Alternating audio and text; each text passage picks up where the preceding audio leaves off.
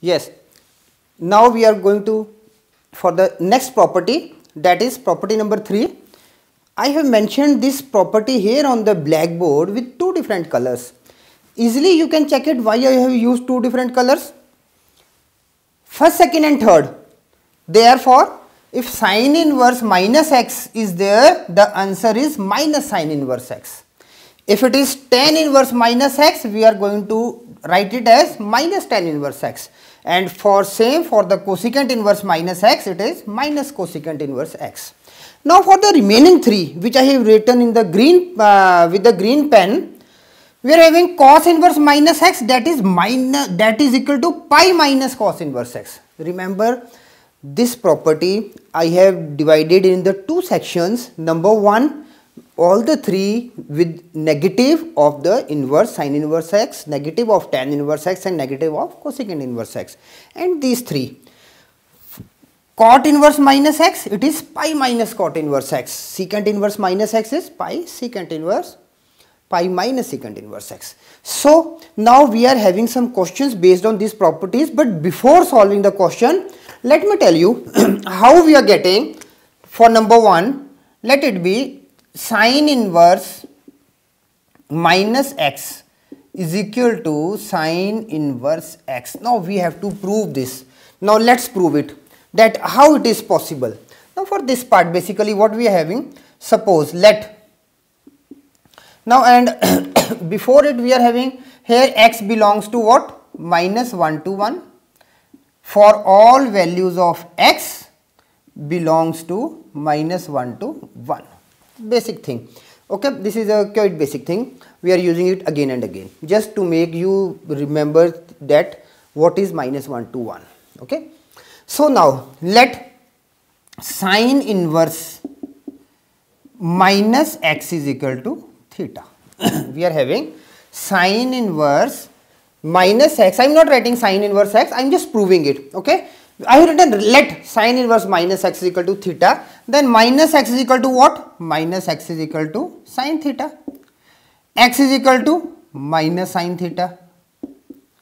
Okay and uh, you can write it x equal to minus sine theta or x is equal to sine minus theta. Now from here what we are getting? Minus theta is equal to sine inverse x and theta is equal to minus sine inverse x. Now when I have written x is equal to sine minus theta, now what, what are the reason what we are falling in it? Because why it is so? Because x belongs to minus 1 comma 1 and and remember x belongs to min minus 1 comma 1 and theta belongs to what? And theta belongs to or if we have used minus theta here we can write it minus theta. Minus theta belongs to minus pi by 2 to pi by 2 for all values of theta belongs to minus pi by 2 to pi by 2 remember this thing. When x belongs to minus 1 to 1 then theta belongs to minus pi by 2 to pi by 2 now we are having here this is number 1 what we have used number 1 and this we have used as a number 2. Now sine inverse minus x is theta and theta is minus sine inverse x. So from 1 and 2 from 1 and 2 what we get sine inverse minus x is equal to minus sine inverse x. So this is our first result which we have proved it now similarly you can go for the second and third. So after writing this one let's start with the fourth one because as I have proved uh, first and uh, uh, first you can go for second and third. Now let's start with the fourth one it is cos inverse minus x is equal to pi minus cos inverse x.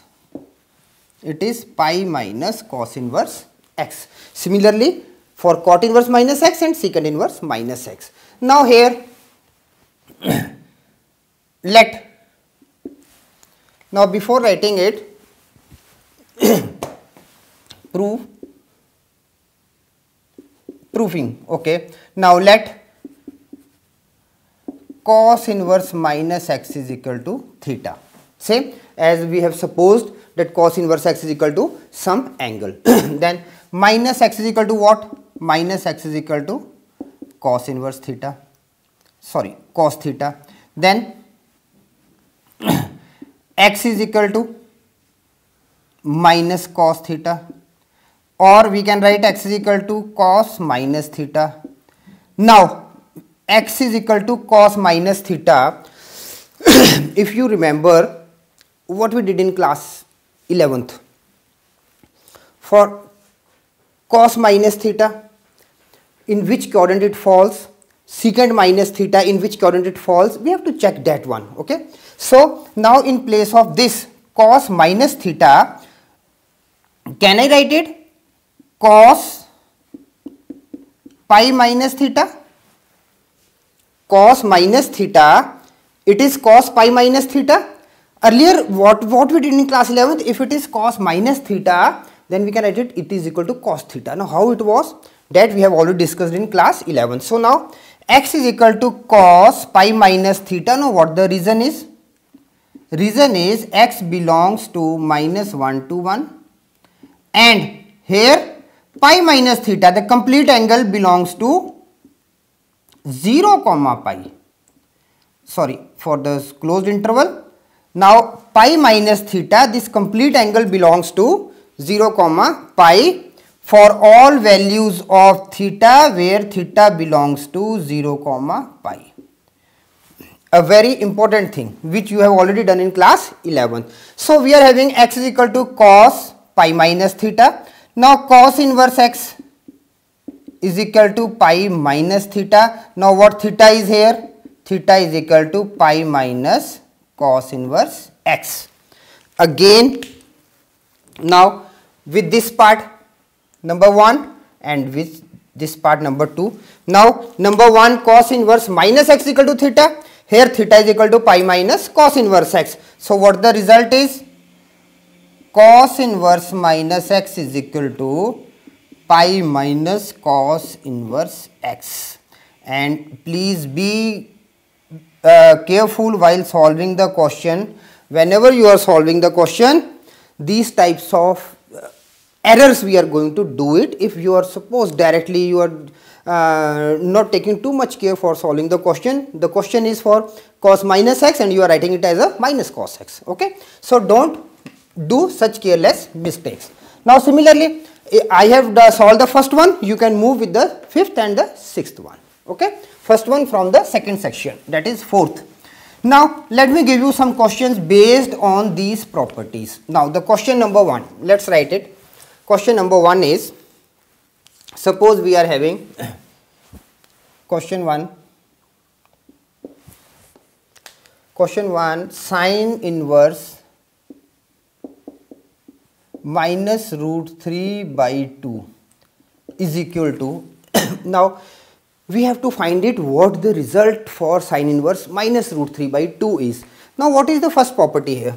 Sine inverse minus x is equal to what? Minus sine inverse x.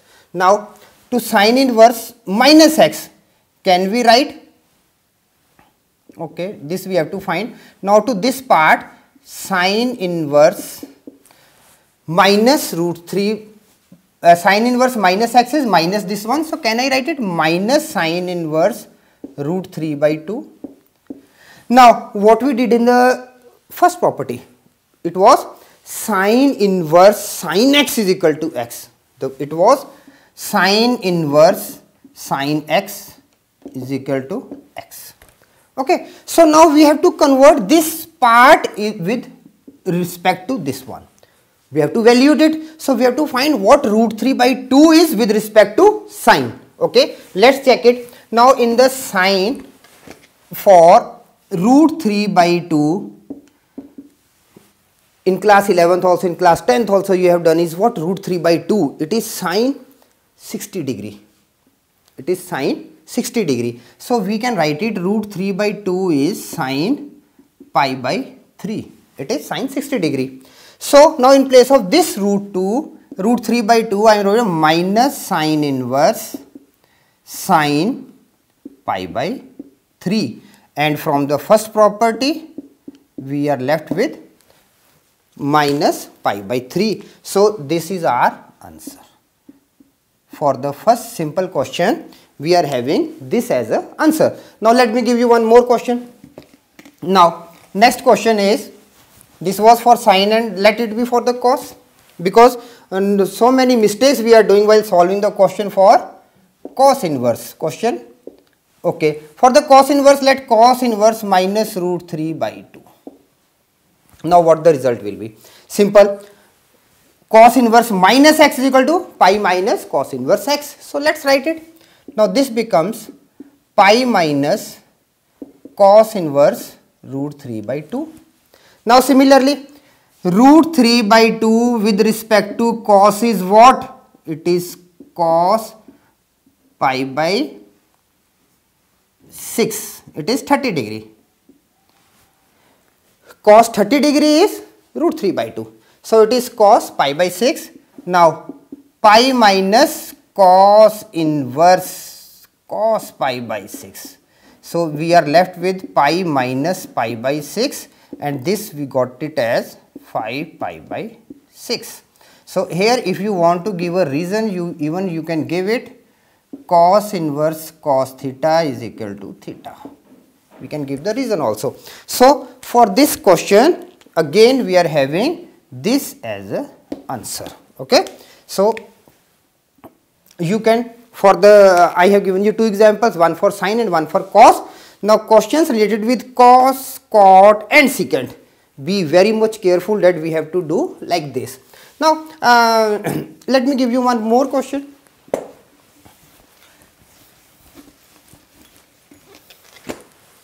Now the question is for example we are having sine pi by 3 minus sine inverse minus 1 by 2. Now, suppose this is the question and what we have to do?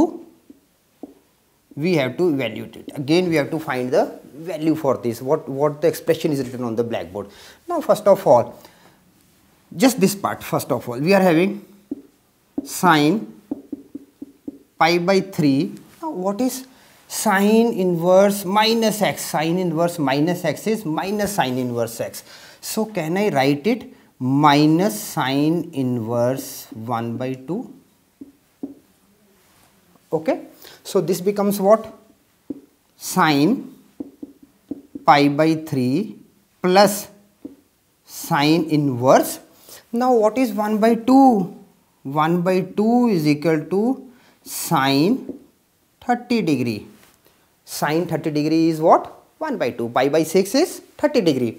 So, in place of this 1 by 2, I am writing sine pi by 6. Now, we are get, getting sine pi by 3 plus pi by 6. Now, pi by 3 plus pi by 6, if I am asking you know without taking the LCM, pi by 3 60 degree pi by 6 is what? 30 degree? 60 and 30 makes 90 so after taking the LCM we are knowing that sine this becomes pi by 2 and sine pi by 2 is 1 so this we are getting as an answer. Sine pi by 2 is equal to 1 okay. So i have with this property we have solved three different types of question. One for sine one for cos and one in this sense.